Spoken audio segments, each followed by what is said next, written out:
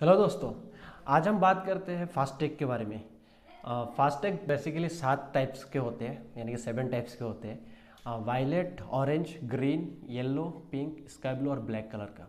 जो वायलेट होता है, वो प्राइवेट गाड़ियों के लिए होता है। जो ऑरेंज कलर तो mini bus and light commercial vehicles के लिए होता है।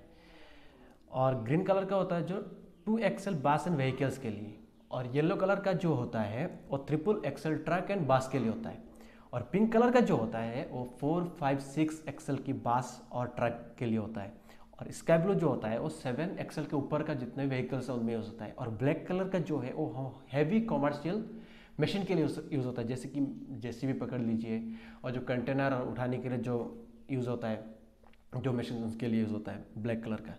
तो एक, और इनमें जो मैं एक्सेल एक्सेल बोल रहा हूँ, एक्सेल क्या चीज़ है, हम एक डायग्राम के हिसाब से समझते हैं। तो मैं एक डायग्राम के हिसाब से आपको समझाता हूँ।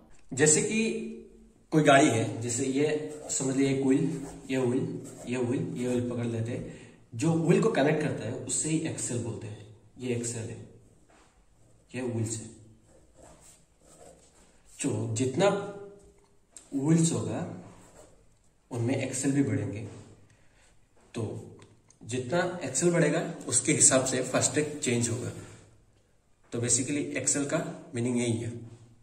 अब हम नेक्स्ट प्रोसेस को समझते हैं कि कैसे ये सारे प्रोसेस होते हैं सिस्टम काम करता है। तो ये नेशनल इलेक्ट्रॉनिक टूल कलेक्शन के तहत सारे काम होता है जो R F I D radio frequency identification technology के द्वारा ये काम होता है। तो हम इस प्रोसेस को भी एक डायग्राम के हिसाब से समझेंगे तो अच्छे से समझ पाएँगे। तो हम मैं फिर से एक डायग्राम बनाता हूँ और उसमें आपको सम, समझाता हूँ। तो आइए डायग्राम से समझते हैं। यहाँ पे हमने एक डायग्राम बना दिया है तो हम इस डायग्राम के हिसाब से समझते हैं। समझ लीजिए, एक टोल प्लाजा है। यहाँ पे एक स्कैनर लगा हुआ है, यहाँ पे एक ये गाड़ी है आपका। तो आपके गाड़ी के ऊपर जनरल वाइंडशील्ड पे एक फास्टैग लगा हुआ होता है। इस R F I D R F I D technology के द्वारा, जो रेडियो फ्रिक्वेंसी वेब्स के द्वारा काम करता है, इसके तहत ये स्कैन करेगा और इसका सारे डिटेल्स लेकर एक्वायर बैंक को देगा डायरेक्टली और एक्वायर बैंक इसको एनटीसी एनटीसी मेपर को देगा। पहले हम समझ लेते कि एक्वायर बैंक क्या है। Acquire bank actually toll plaza के लिए जो बैंक काम करता है, उसे एक्वायर बैंक बोलते हैं। और एनटीसी है जो फास्टैग का लाइब्रेरी समझ लीजिए फास्टैग का सारा इन्फॉर्मेशन एनटीसी में रहता है। तो बेसिकली क्या होगा, ये इसके अंदर डिटेल्स एक्वायर बैंक को देगा। एक्वायर बैंक एनटीसी को भेजेगा। एनटीसी इसको वेरीफाई करके अगर वैलिड है तो ये इंफॉर्मेशन एक्वायर बैंक को देगा। और बैंक फिर से क्या करेगा? डेबिट अमाउंट के लिए एनटीसी को रिक्वेस्ट भेजेगा।